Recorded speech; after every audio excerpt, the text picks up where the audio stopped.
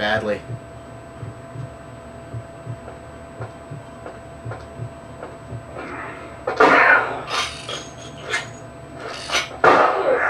Yeah, there we go.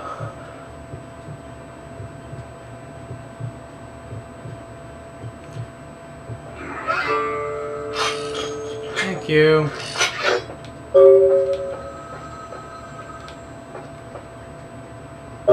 Any of you, hysteria. Just to say I'm protecting the masquerade by wiping out his brain. Yeah. Hello? I'm terribly sorry about that. My sister was just furious about your refusal to take part in her designs, so she sent those men to kill you. But I'm going to make sure it never happens again. Drop by. We'll take care of this Tung business. She's crazy! Help! Okay. Alright. So. Shotgun. That could be useful.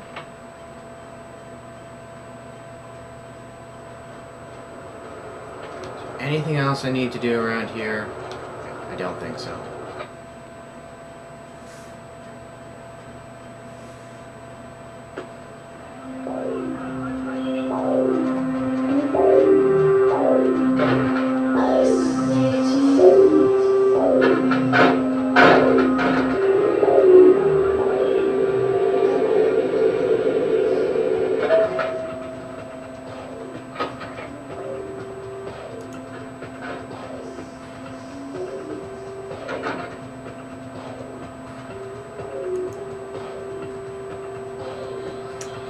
Is this game frozen?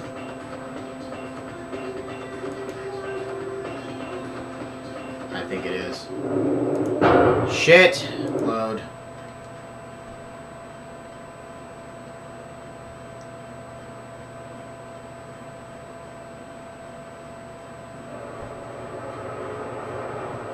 Oh crap, I have to do this again? Bastards.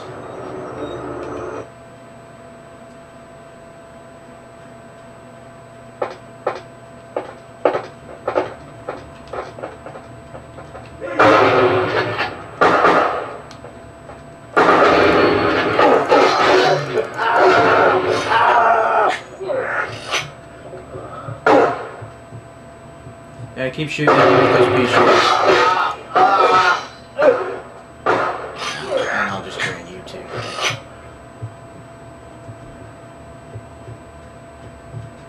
There we go.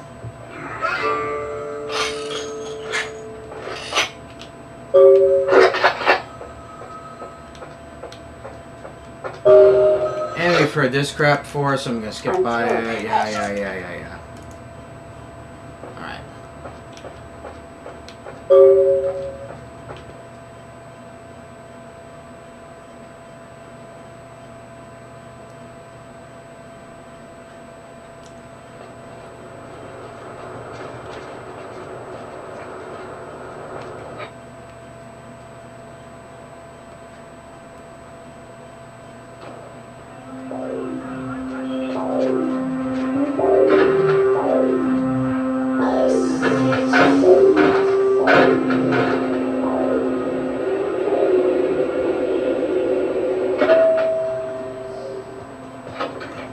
I'm gonna save now, just in case it buggers up again.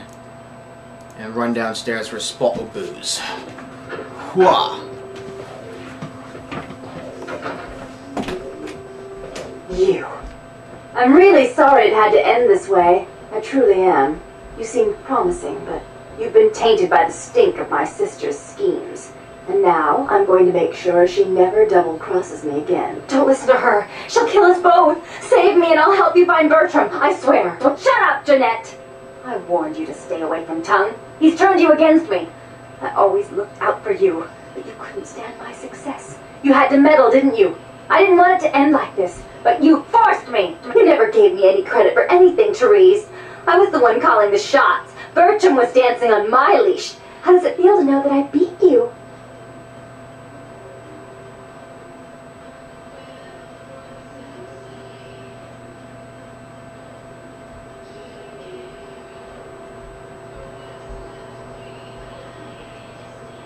And yeah, I'm back, I'm back.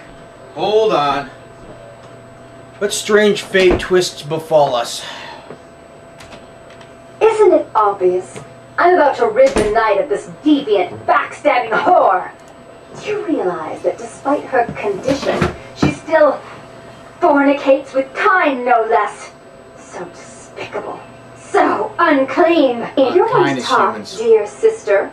Or should I say daddy's little girl? Do you want to know just how depraved the Baron of Santa Monica can be? Shut up, Jeanette. You'd love the world to think you're a saint.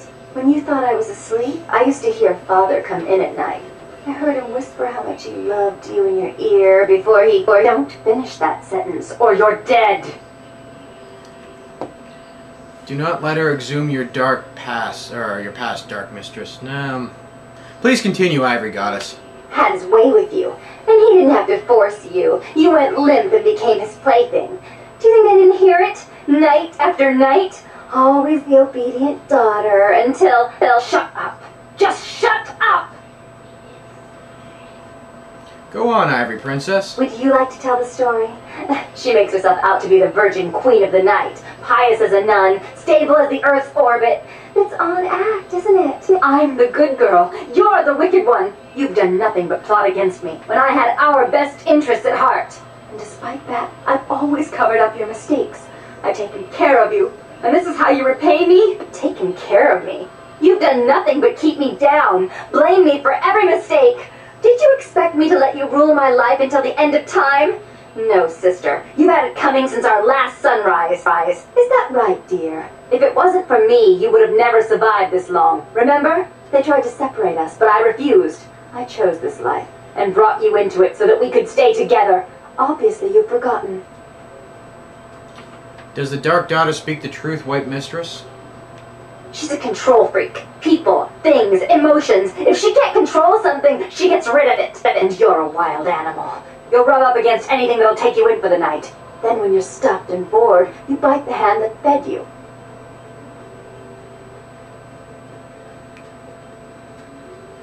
Yes, the Dark One called the Reaper down on me. Therese will never let you live. You disappointed her. I used you, yes, but I didn't try to have you killed.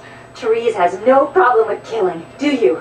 Remember father? Father loved me. I was a good girl. I This always did what I was up. told. You always hated that he loved me. You disobeyed him. You brought men home when he wasn't there. You were an awful daughter to him. What of Janice, White Mistress?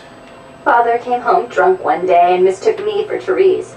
Because I'd fallen asleep in her bed. Don't listen to her. She's lying. Therese walked in while he was there, and she saw me lying with him, and so she went to the closet and pulled out his hunting shotgun, loaded it with deer shot, and blew his mind out all over the silly clown wallpaper. That's a lie.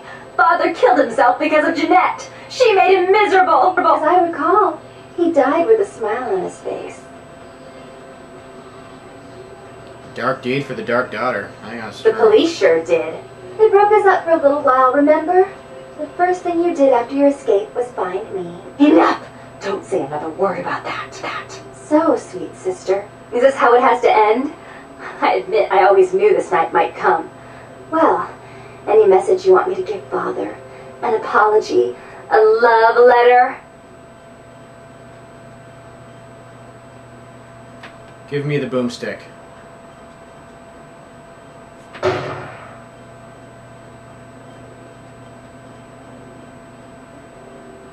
I should turn this on you next, but I won't.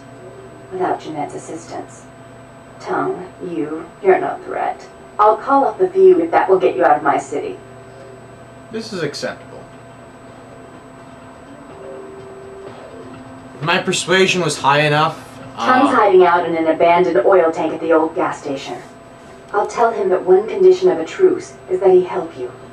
Our business then is finally complete. What you witnessed here, a word to anyone. well, I'm telling everyone. Um, I understand I'm gone. Yeah. Uh, if my persuasion was high enough, I can convince them to get them worked, working together. But that would require me like going back and upping my. Actually, now that it's here, um, yeah, I'm gonna keep it at nine. Wait, I should really up my. There we go. Or persuasion. Where is it? Persuasion, scholarship. Yeah, I'll make that. There we go. Persuasion of six. Don't want to let that fall behind too much. I can forego having make you die powers. Mind bullets.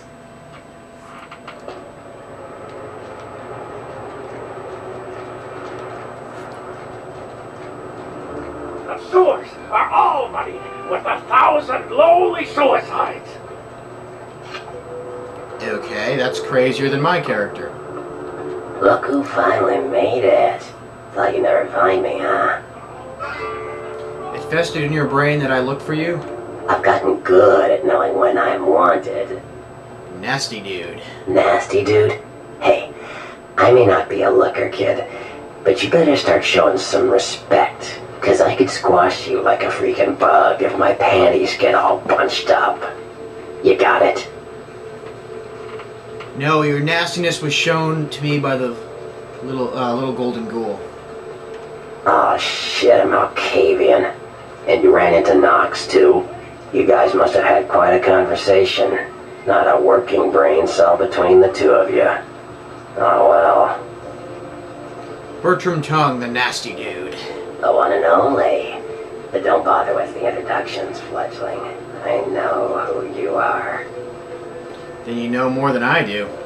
News travels down the kindred grapevine like wildfire. And that courtroom spat between LaCroix and Nines Rodriguez is a juicy little morsel. And you in the middle. How interesting. And survive I did. Oh, you did, did you? Well, I wasn't worried. So why did you need to find me? What did you need? I seek a strange house of wares, oh nasty dude. Hmm? Oh, never mind. The warehouse, though. Oh, I've been watching the place. The Sabbat has a bunch of low-life humans working day and night to move stuff through there. There's some major staging going on. Street, a secret sorrow and sickness. Tell me of the Sabbat. The Sabbat. Jeez, you are green. It's like this. We're all monsters, like it or not.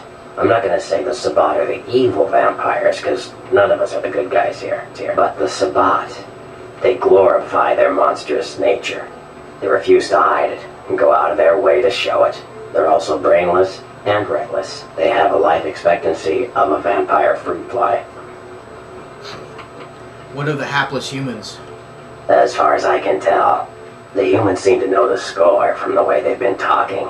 I think most of them have aspirations of joining the next graduating class of shovelheads. Ugh, losers. Do they know their, of their dark masters? Yeah, this is about like everyone to know just who they're dealing with.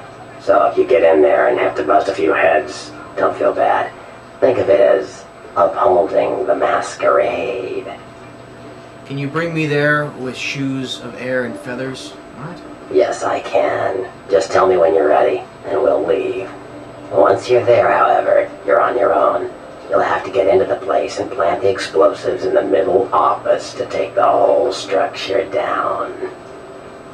My pocket. Um. Light the way for me, your dude, dudeness.